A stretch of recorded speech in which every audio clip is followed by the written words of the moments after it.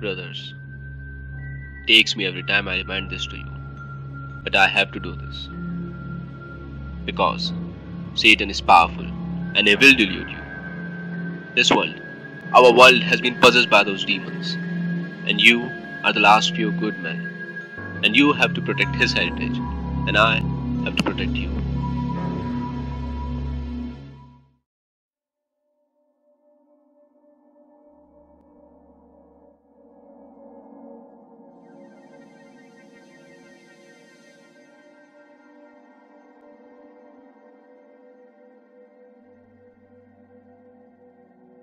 He will lay down baits.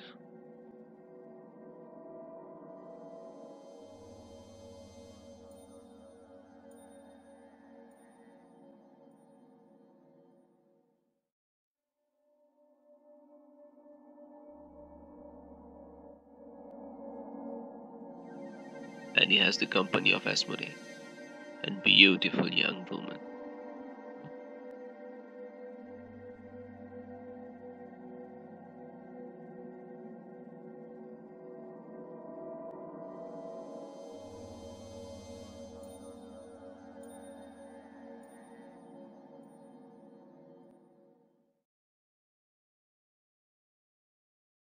And once you commit blasphemy, it's all over.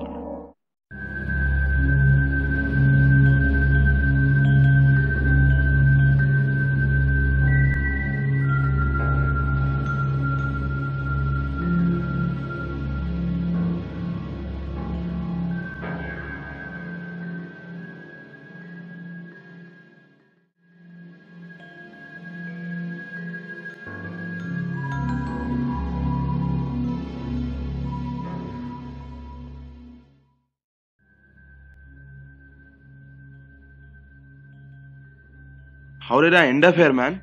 You were passed out when they brought you here. What happened with you outside? You guys won't believe what I saw. When I escaped, the world was totally different from what we know. The earth laughs in flowers. The birds were chirping. The earth delights to feel my bare feet, and winds longs to play with my hair.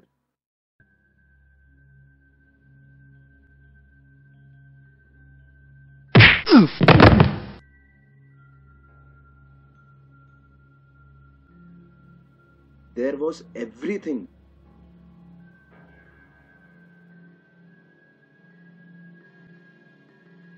Except demons.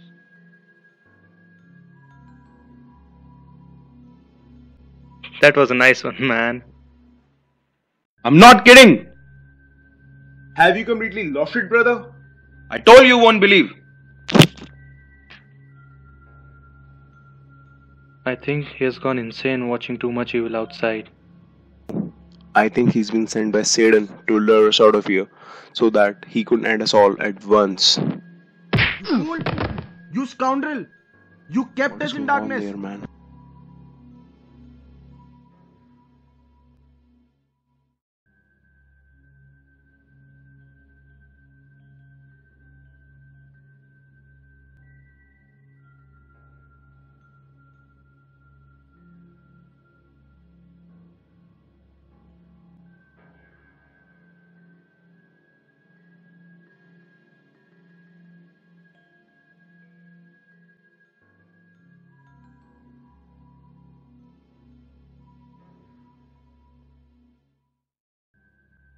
What is wrong with him?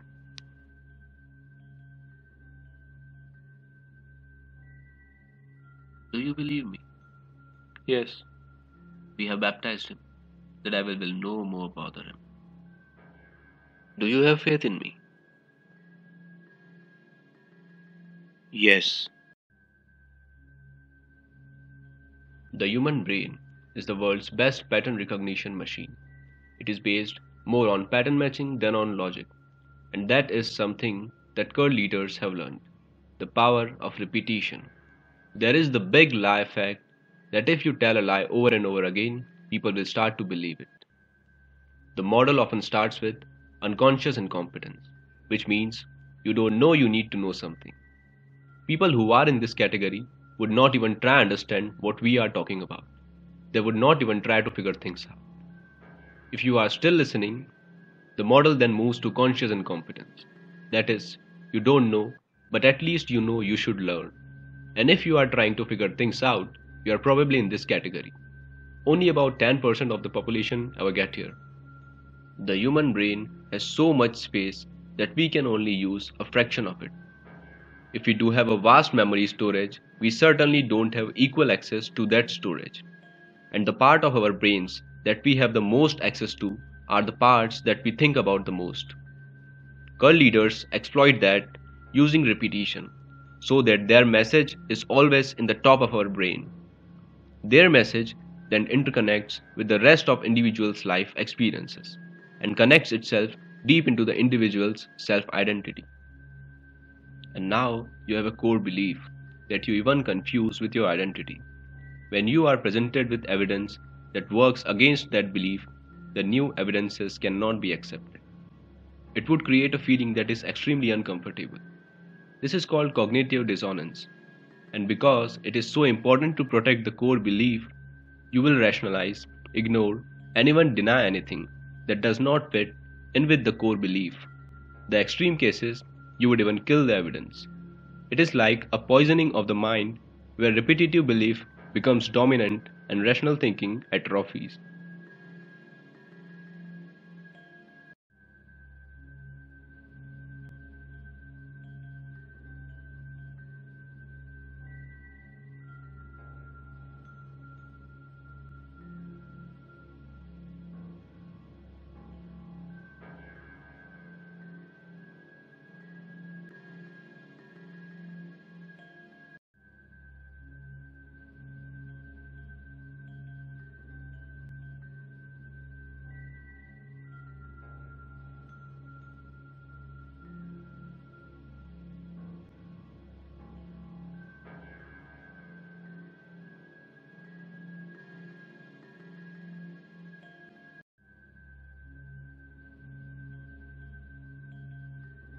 A truth's initial commotion is directly proportional to how deeply the lie was believed.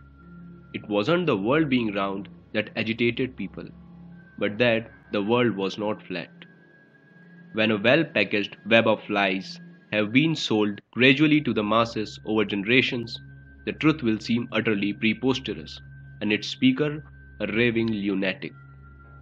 We don't want you to come to a conclusion, rather, we just want you to pursue the truth. After all, confusions are better than prejudiced conclusions.